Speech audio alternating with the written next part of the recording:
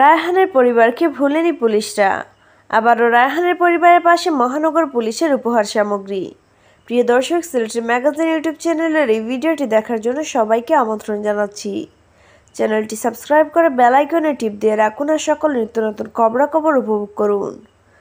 সিলেটে পুলিশি নির্যাতনে নির্মমভাবে নিহত হওয়া আখালিয়া এলাকার যুবক রায়হান আমাদের পরিবারের পাশে আবারও দাঁড়িয়েছে মহানগর পুলিশ। পবিত্র মাহে রমজানের প্রথম রোজা ও বাংলা নববর্ষ উপলক্ষে বুধবার সিলেট মহানগর পুলিশের পক্ষ থেকে রায়হানের পরিবারের সদস্যদের হাতে উপহার সামগ্রী তুলে দেয়া হয়।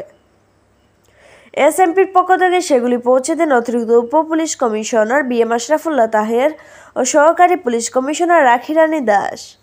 উপহার গ্রহণ করেন রায়হানের মা সালমা বেগম, সৎ বাবা হাবিবুল্লাহ স্ত্রী তাহমিনা আক্তার তান্নি।